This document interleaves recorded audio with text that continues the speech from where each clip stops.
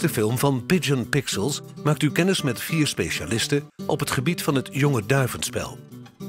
Het spel met de jonge duiven is zonder twijfel een van de moeilijkste en meest ondergewaardeerde disciplines in de duivensport.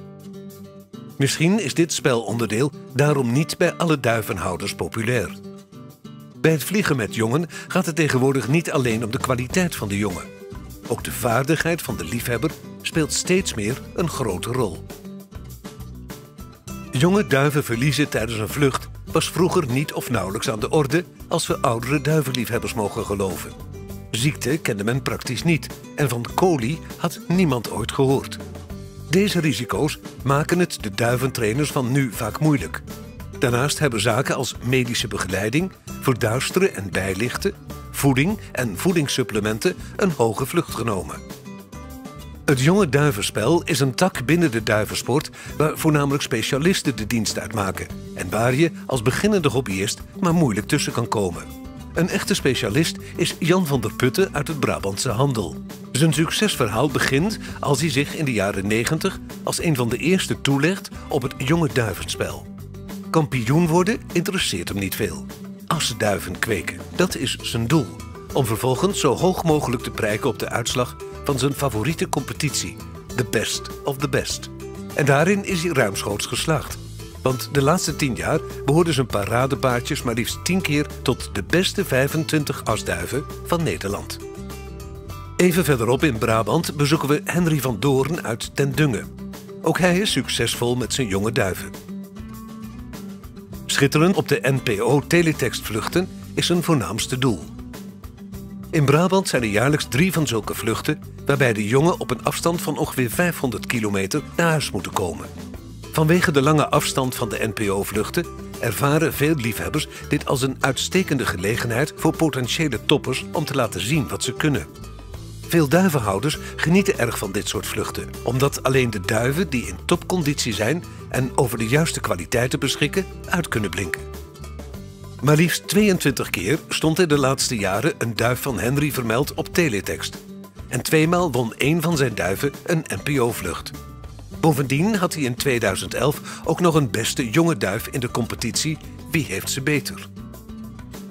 Ook steken we de landsgrenzen over en portretteren we de beste jonge duivenspelers van België op de nationale vluchten. Herman Jespers en zijn zoon Johnny van der Wegen uit Holsbeek. De zogenaamde kettinguitslagen, zoals zij die hebben gerealiseerd, zijn in België nog nooit eerder voorgekomen. Wat dacht u van de tweede, vierde en vijfde Nationaal Bourge tegen 30.759 duiven? Of de vierde, vijftiende, 26e en 31ste Nationaal Bourge tegen 31.824 duiven? Tevens stunten ze met wel acht plaatsen in de eerste 100 prijzen vanuit Argenton tegen 20.844 duiven. Ook van deze toppers moet u iets kunnen opsteken. Iemand die vooral bekend is om zijn spel met oude duiven op de eendaagse vond, maar ook erg goed uit de vleugels kan met jonge duiven, is Nico-Jan Koenders uit het Gelderse Westervoort. In 2002 werd hij nationaal kampioen met zijn jonge duiven. En bovendien was een van die toppers de tweede beste asduif nationaal NPO. In 2006 had hij de vierde beste jonge duif in de competitie Wie heeft ze beter? En verder is hij de laatste 20 jaar maar liefst 19 keer kampioen geworden met zijn jonge duiven in zijn kring. Maar wat is er nou zo mooi aan het spel met de jonge duiven? Ik speel alleen maar met jonge duiven vanaf 1990 en ik vind dat zelf mooi om te doen. Ik kan er heel veel tijd in kwijt, zoveel en zo weinig als ik wil. Ik zou er niet aan moeten denken om ook met oude duiven te spelen. Ik vind het heel fijn om alleen met jonge duiven te spelen. En we hebben hier in Oost-Brabant ook een heel fijn programma voor jonge duiven. Jonge duif kan 13 keer ingekarfd worden volgens mij, als ik het precies weet. En op veel andere plaatsen is het misschien 5, 6, 7 keer. Ja, dan vind ik dat wij wel een heel mooi programma hebben. Dus het mooiste is het jonge duivenspel is het grote aantal jonge duiven dat kunt spelen, gemotiveerd kunt spelen en mooie uitslagen kunt maken. Het voordeel ook wel dat we hier in een afdeling zitten, dat wij ook wel een mooie vluchten hebben. We hebben vluchten tot en met 500 kilometer voor de jonge duiven. Um, ehm, NPO-vluchten drie, twee uh, Orleans en één van PT4 van 450 kilometer. Dat is de laatste vlucht, daar kunnen ook een hoop jonge, late jonge duiven op mee. Uh, voor liefhebbers is dat ook gedaan uh, in verband met veel late jongen kweken en niet met de vroege toer mee willen doen, dat is dan toch nog een mogelijkheid hebben om de laatste Pieter van 450 kilometer ook daar de jonge duiven naar zijn fatsoenlijke vlucht te laten vliegen. In België beginnen wij in mei, de 15e mei. En uh, wij spelen vooral de zware halve fond. En uh, dat zijn acht vluchten, waarvan uh, vier nationale vluchten. En uh, de kortste nationale, dat is van 450. En de verste voor ons, dat is 570 kilometer. En het mooie eraan is, een nationale vlucht, de verspreiding van de duiven. En iedereen kan een vroege duif pakken op de uitslag. Het leuke aan het spelen met jonge duiven is het gewoon het klaarmaken voor de vluchten, het gescheiden spelen, het trainen door de week, ermee bezig zijn, de koppels met elkaar laten vinden. Dus op het moment dat je zeg maar, gaat spelen, gescheiden gaat spelen, zorgen dat ze met elkaar aangepaard zijn, dat je ook echt koppels hebt, uh, omdat ze eigenlijk de motivatie vinden. En daardoor de, de geaardheid in het hok zo hebben dat ze goed, dat ze goed uh, in conditie raken, dat ze goed trainen. En het klaarmaken voor de vluchten zie je eigenlijk dat door de benadering, door er echt mee bezig zijn, zie je de band met de duif groeien en de conditie. Ja, en, dat is het leuke om ze eigenlijk naar iets toe te brengen dat, ze eigenlijk, dat je ziet groeien in conditie. Dus worden, ze worden ouder, de vorm komt en het, ja, het, het leuke ervan om ze zo te spelen.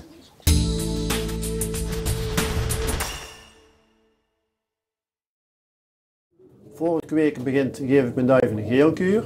Dus deed ik het uh, tijdens het kweken, maar de laatste jaren voor het kweken. Waarom, dat weet ik niet, maar dat, dat is gewoon zo. Gewoon uh, de tijd wat er, op de, wat er op beschreven staat, vijf of zeven dagen, net wat het is. Bijproducten krijgen ze vitamine ral, krijgen ze, grit en roodsteen. Ze worden gevoerd met gewoon kweekvoer, van Patagon of van Verzelen Laga. Verder krijgen mijn duiven geen bijproducten. Helemaal niks. Ooit toevallig een keer piksteen, maar dat is maar zelden. Zelden dat ze dat krijgen. En uh, als de geelkuur voorbij is, hebben ze wel het hele seizoen een teentje knoflook in het water. Of ik moet denken van, nou ik moet ze een keer een geelkuur geven, dan krijgen ze een geelkuur. Maar dat is misschien maar twee keer per jaar voor het kweken begint en misschien halfweg een keer zo. Meer geelkuur krijgen ze niet. Uh, verder krijgen de duiven geen bijproducten misschien zie ik het verkeerd, maar ik denk als je ze van allerhande bijproducten geeft, ja, dan trekt er denk nu een, een mindere, jonge, gezonde duif, trekt er denk ik ook door. Terwijl in die natuur zou die gewoon afsterven. Dus die moet ik dan zelf, ja het is vervelend, maar die moet ik zelf wel uitselecteren, zo'n duif. Want die heeft toch geen kans later als je, de, als je buiten komt. Dus dat is eigenlijk het, uh, het kweken, zo begint voor mij het kweken. Mijn kweekduiven die worden gekoppeld uh, rond de periode kerst en nieuwjaar, omdat ik in de bouw werk en dan heb ik 14 dagen wintersluiting. Dan koppel ik ze meestal uh, vrijdags, voor die 14 dagen wintersluiting begint. Dan heb ik al mijn duiven dus goed is op nest zitten en hoeft mijn vrouw er verder helemaal niks aan te doen. Geen vechtpartijen meer of verder en dat is voor mij het allermakkelijkste. Ik kweek voor mezelf twee rondes om mee te vliegen uit deze 18 koppels. En daar doe ik ook helemaal niks van weg. En ooit nog enkele duiven van de derde ronde, waar ik vaak nog heel goed mee ben ook nog. Dus, maar er zijn meestal maar een paar uitjes. Maar in ieder geval twee rondes van, de, twee rondes van deze 18 kwekers. Dus aanhalingstekens, die gebruik ik voor mezelf. En ik heb altijd enkele voedselkoppels zitten, zodat ik enkele ei over kan leggen als het zo uitkomt. De eitjes uh, die ik moet bewaren voor de voedselkoppels, ik probeer ze zo te koppelen dat er enkele koppeltjes gelijk zitten. Dus normaal kan ik ze meteen verleggen. Gaat dat niet, dan leg ik ze in een bakje, een bakje met zilverzand. Ik draai ze twee keer per dag om.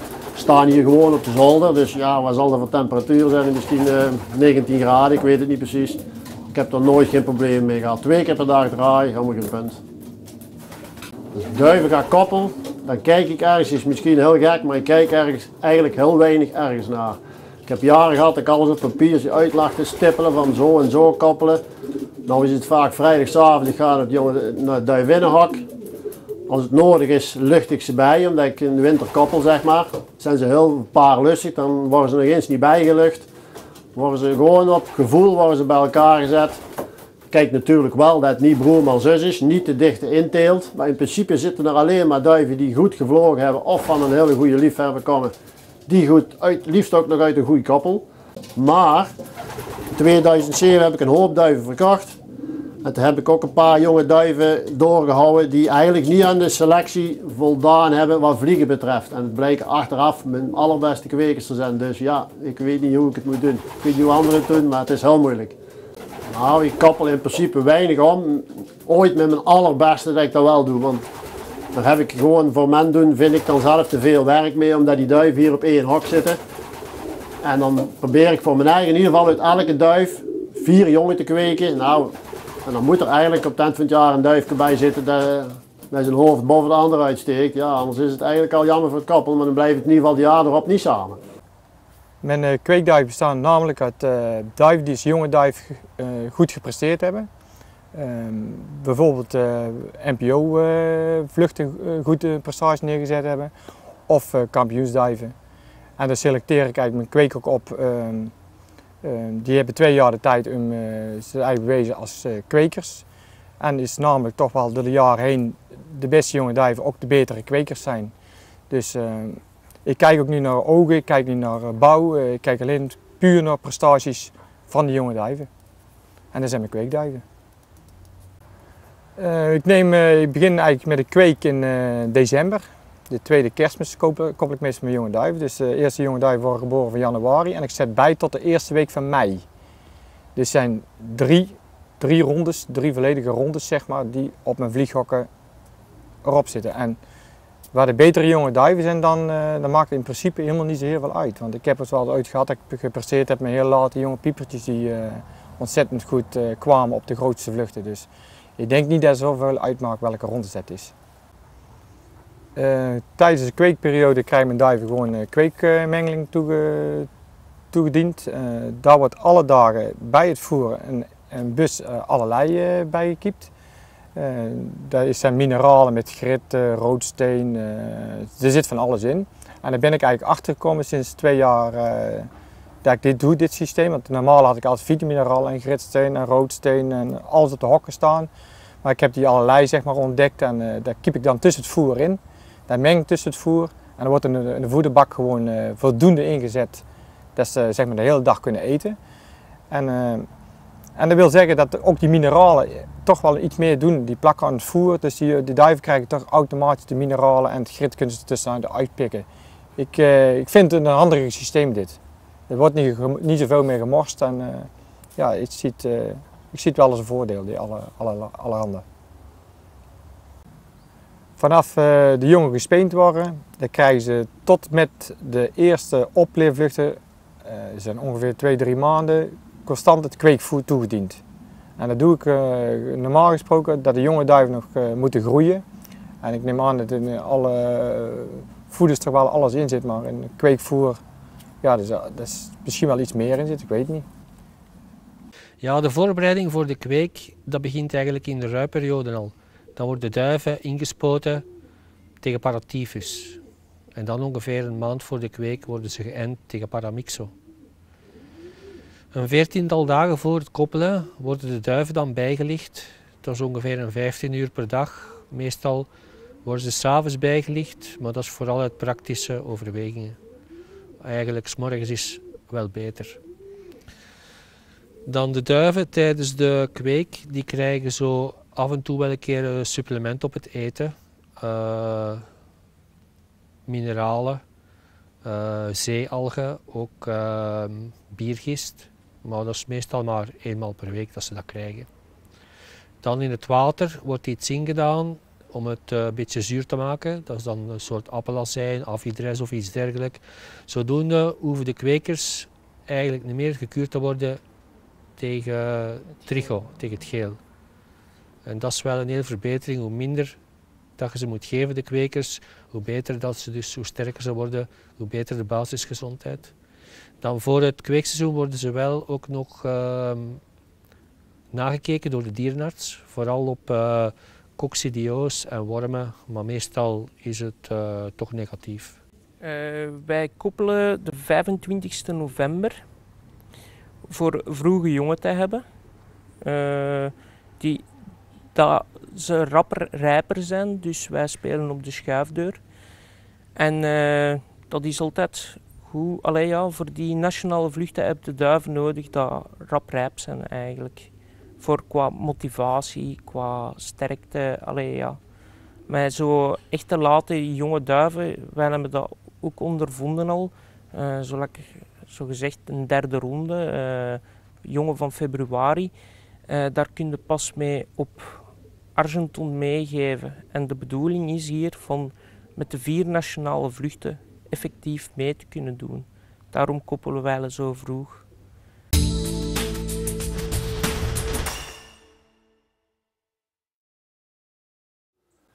Als ik met jonge duiven speel, dan krijgen ze eigenlijk, voor mijn gevoel, zo lang mogelijk kweekmengeling te eten. Tot het moment, ik vind als je kweekmengeling, ik voer ze ook heel royaal. Ze zal hier nooit geen één duif honger hebben. Ik denk ook dat ik daar ook mee bereid. Op een gegeven moment komen de duiven buiten, ze gaan uit wennen en ze gaan op, uit zichzelf gaan ze zeg maar een uur aan het wegtrekken. Er zal hier geen één duif naar beneden komen die mij ziet vanwege de honger. Absoluut niet. Dus ze vliegen, gaan op een gegeven moment heel ontzettend goed vliegen. Een uur of zo zijn ze weg, drie kwartier weg. Komen thuis, hebben weer honger, ze zitten in een zucht zitten ze binnen, als alles gezond is, maar anders houdt alles op. En ja, ik voer ze goed, kweekmengeling zo lang als het kan. Op een gegeven moment zie ik dat ze voor elke, elke dag maken ze de kopje vol eten s'avonds, zeg maar. In principe altijd s'morgens los. En op een gegeven moment zie ik dat ze veel echter beginnen te knoeien door het hok. Dan doe ik er meestal een derde dieet bij. En dan, ja, zo voer ik eigenlijk het hele seizoen. Met jonge duiven. Vanaf het, uh, vanaf het spenen van de jonge duiven, en dat gebeurt eigenlijk wanneer ze 20, 25 dagen oud zijn. Uh, in ons geval brengen de doffers alleen de jongen groot. De Levinnen zijn al eerder van het hok af, omdat uh, ik vind dat de doffers dat zelf moeten kunnen. Ook geeft ook meer rust in het hok. De jongen worden gespeend ongeveer met 25 dagen. Uh, tot 2, 2,5 maand. Maar eigenlijk moet je zeggen totdat ze goed trekken, tot ze goed vliegen eigenlijk, krijgen ze alleen maar kweekvoer. Ik vind een jonge duif die ja, vanaf dat spenen, dat is echt maar een jong dier, dus die moet goed uitgroeien. Dus die heeft alle voedingsstoffen nodig om tot een duif te worden. Dus op het moment dat ze goed trainen bij huis, geef ik ze geen kweekvoer meer, want dan wordt het te zwaar. Dan geef ik ze eigenlijk uh, Junior Plus, dat is een, een jonge duivenmengeling uh, met een beetje gest erin. Dat is eigenlijk een lichte mengeling. De jonge duiven krijgen vanaf het spenen tot en met de eerste opleervluchten, twee weken van tevoren, zeg maar eind mei begint met opleren, krijgen ze kweekmengeling toegediend. Met alle randen, hetzelfde als we kweekduiven het voer krijgen. Uh, daar krijgen ze normaal gesproken ja, tot en met eh, de tweede, tweede, eh, ja, tweede week van mei, derde week van mei. En dan wordt er opgeleerd en dan ga ik naar lichte voer over. Ehm, de duiven krijgen s'avonds voldoende voer. Die worden gevoerd eenmaal per dag, s'avonds. Die, die krijgen zoveel mogelijk voer, dat ze zoveel uh, mogen eten als ze lussen. Er blijft voer in de bakken staan. Dan wordt, s morgens wordt er niet gevoerd, dan kon ze voer nog opeten wat er in de bakken staat. Smiddags laat ze mijn vrouw ze los, dan kom ik s'avonds thuis van mijn werk. En dan luisteren ze weer voldoende, en heel goed zelfs, dat ze weer goed naar binnen willen om opnieuw te eten. Uh, voor het opleren van de jonge duiven doe ik ze in de mand wennen. Ik heb vier van die grote verzendmanden van mijn eigen. Die zet ik in de rennen neer. Daar gaan ze minimaal een keer of tien, misschien wel vijftien keer in. Er wordt water aan gehangen, daar worden ze, worden ze de hele dag ingezet. Uh, dat ik merk dat er goed gedronken wordt door die jonge duiven. Uh, het opleren van de jonge duiven, dat wordt dan pas gedaan als ze allemaal goed gedronken, dat ze goed kunnen drinken en uh, ja, dat ze gewend zijn aan de manden. Dus stress een beetje eraf halen voor de jonge duiven op te leren. Dan zet ik ze zelf nog eens een keer in de kleine verzendmandjes, waar ik ze zelf maar opleer. Dus dan gaan ze ook nog eens een paar keer